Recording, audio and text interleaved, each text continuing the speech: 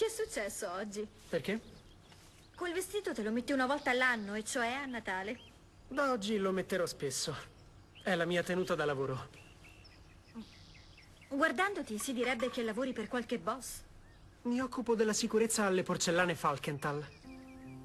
Lavori a fianco di quel York. Quando la finirai di brontolare, preferisco fare l'addetto alla sicurezza che il factotum di casa Grafenberg. Che gioia essere sorvegliata da tuo fratello giorno e notte. Si dice vigilanza a tempo Sì, pieno. ma non devi preoccuparti. Avrò a malapena il tempo di passare a salutarti. Già, perché in una fabbrica di porcellane garantire la sicurezza è un incarico molto importante. Mai sentita l'espressione spionaggio industriale? Mai sentita l'espressione vita privata? Sulla tua vita privata sono tutti molto informati. Grazie a te che sei andato a raccontare a Coglia che mi sono dimenticata del nostro appuntamento perché io e Tim avevamo di meglio da fare. Però era vero. Non l'ho fatto di proposito. Non è che questo migliori le cose. Sì, è vero. Non può finire così tra di voi.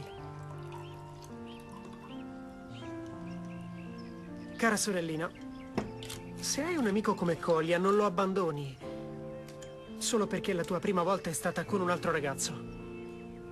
Ormai ho provato di tutto per farmi perdonare, ma non mi ascolta nemmeno più. Allora vedi di farti venire in mente qualcosa.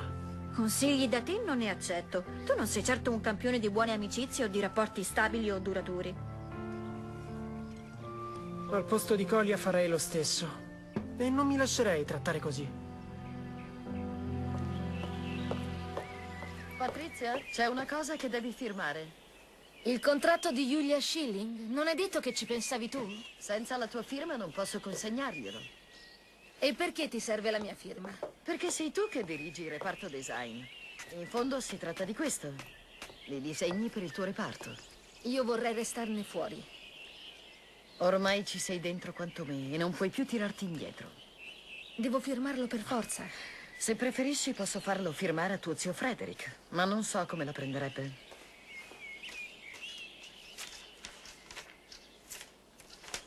Ma c'è anche un duplicato. Che verrà distrutto subito dopo che Julia Schilling avrà firmato. Anche se sostenesse che il contratto è stato violato, non ci sarà nessun duplicato a dimostrarlo. Ma sull'originale la mia firma non si può cancellare. È una disegnatrice. Potrebbe aver falsificato la tua firma. Sarà la sua parola contro la tua. Spero che questo non sia il mio foglio di licenziamento. No, al contrario. Questo sarà il tuo passaporto per il successo nell'azienda e nel mercato delle porcellane.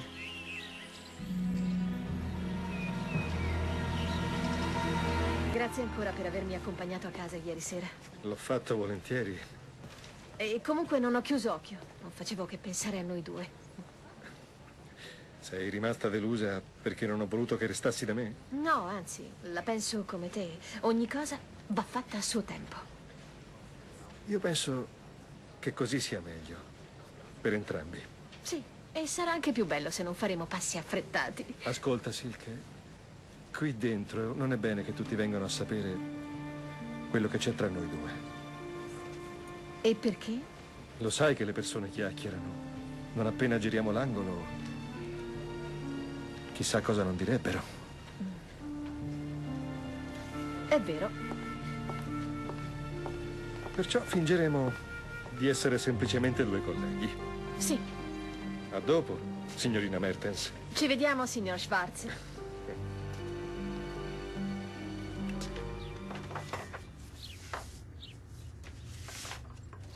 Ma questo l'avevo regalato a te. Che c'è, non ti piace più? No, sai che ci tengo. Non volevo che si sporcasse. Visto che ti piace così tanto, dovresti metterlo in una cornice. No, meglio lasciarlo nella tua cartellina. Finché non avremo una casa nostra. Ma questa sto per consegnarla. Ormai ho venduto tutti i miei disegni all'azienda. Cosa? Già, Ma come? non ci crederai. Entreranno in produzione e porteranno la mia firma. Io non capisco, com'è possibile? Annabel Grafenberg ieri al bar mi ha implorata perché le consegnassi i miei disegni. E tu hai accettato? Ti ha offerto dei soldi? Ha provato a offrirmi di tutto, ma io ho preferito avere la mia firma sui disegni. E non hai chiesto alcun compenso. Avrò il mio compenso, ma non lo faccio per denaro. Ah, glieli darai praticamente gratis. Un'altra occasione perduta. In che senso, scusa? Io da tempo avrei voluto parlartene, ma poi... Cosa c'è, mamma?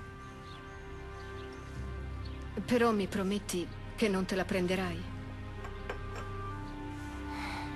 Annabel Grafenberg mi ha offerto una cifra enorme se io le avessi portato i tuoi disegni.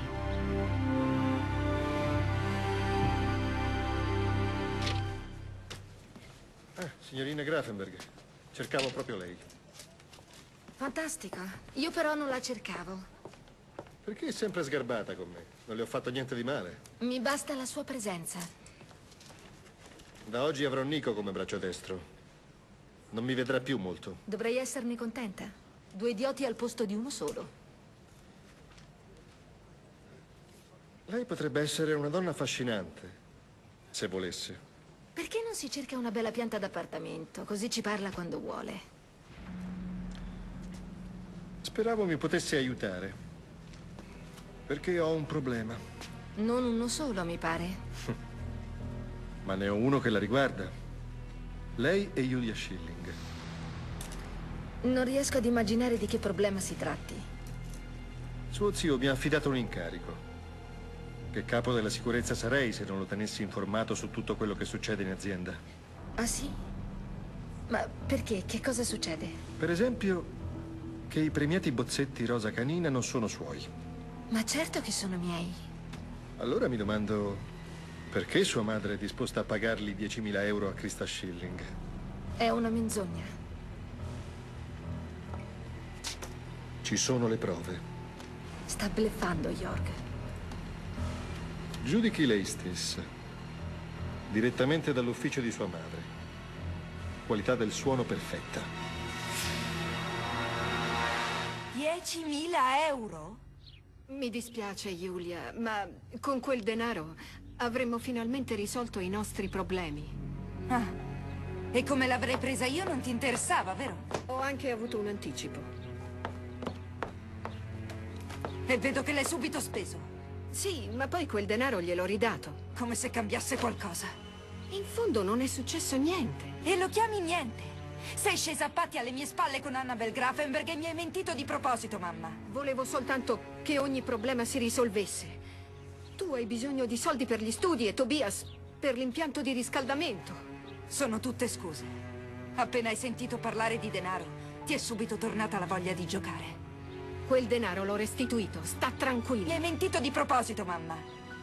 Mi hai mentito e raggirata. Come potrò fidarmi di nuovo? Ma di me potrai sempre fidarti. È così. Giulia, non guardarmi in quel modo. Giulia, ti prego, parliamone.